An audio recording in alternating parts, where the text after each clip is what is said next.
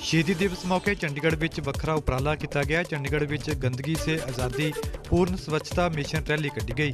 ਸ਼ਹੀਦੀ ਦਿਵਸ ਮੌਕੇ ਇਹ ਉਪਰਾਲਾ ਚੰਡੀਗੜ੍ਹ ਵੈਲਫੇਅਰ ਟਰਸਟ ਦੇ ਵੱਲੋਂ ਕੀਤਾ ਗਿਆ।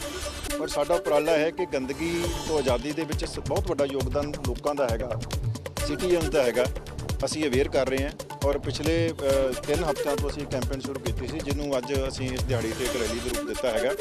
ਔਰ ਅਸੀਂ ਚੰਡੀਗੜ੍ਹ ਦੇ ਕੋਈ 2.5 ਲੱਖ ਘਰਾਂ ਦੇ ਵਿੱਚ ਜਾ ਕੇ ਦਸਤਕ ਦੇ ਕੇ, ਇੱਕ ਘਰ ਦੇ ਵਿੱਚ ਜਾ ਕੇ ਲੋਕਾਂ ਨੂੰ ਬੇਨਤੀ ਕਰ ਰਹੇ ਹਾਂ। ਸਮੱਗਰੀ ਜਿਹੜੀ ਅਸੀਂ ਪ੍ਰਿੰਟਿੰਗ ਸਮੱਗਰੀ ਹੈ, ਉਹ ਕਰ ਰਹੇ ਹੈਗੇ ਆ ਔਰ ਸੁਰੱਖਿਆ ਸਰਵੇਖਣ ਜਿਹੜਾ ਚੰਡੀਗੜ੍ਹ ਦਾ ਹੁਣ ਜਿਹੜਾ ਕਿ ਹੁਣ ਉਹਨਾਂ ਦੀ ਚੱਲ ਰਹੀ ਹੈਗੀ ਅੱਜ ਕੱਲ ਰੈਂਕਿੰਗ ਦਾ ਕੰਮ।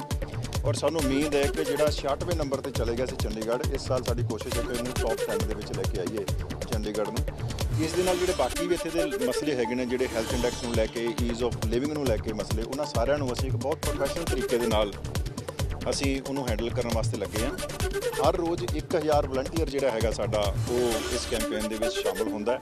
ਔਰ ਸਵੇਰ ਤੋਂ ਲੈ ਕੇ ਸ਼ਾਮ ਤੱਕ ਅਸੀਂ ਇਹ ਕੈਂਪੇਨ ਜਿਹੜੀ ਉਹ ਕਰਦੇ ਹੈਗੇ ਹਾਂ। ਤੇ ਆਉਣ ਵਾਲੇ ਦਿਨਾਂ ਦੇ ਵਿੱਚ ਅਸੀਂ ਜਿਹੜੀਆਂ ਸ਼ਹਿਰ ਦੀਆਂ ਬਾਕੀ ਐਨਜੀਓਜ਼ ਹੈਗੀਆਂ ਨੇ, ਬਾਕੀ ਸੰਸਥਾਵਾਂ ਨੇ, ਸਮਾਜ ਸੇਵੀ ਸੰਸਥਾਵਾਂ, ਉਹਨਾਂ ਨੂੰ ਵੀ ਨਾਲ ਲੈਣ ਦੀ ਕੋਸ਼ਿਸ਼ ਕਰਾਂਗੇ ਤਾਂ ਕਿ ਇਹਨੂੰ ਇੱਕ ਸਮਾਜਿਕ ਮੁਹਿੰਮ ਬਣਾਇਆ ਜਾ ਸਕੇ ਔਰ ਚੰਡੀਗੜ੍ਹ ਦੀ ਜਿਹੜੀ ਖੂਬਸੂਰਤੀ ਹੈ, ਉਹਨੂੰ ਬਰਕਰਾਰ ਰੱਖਿਆ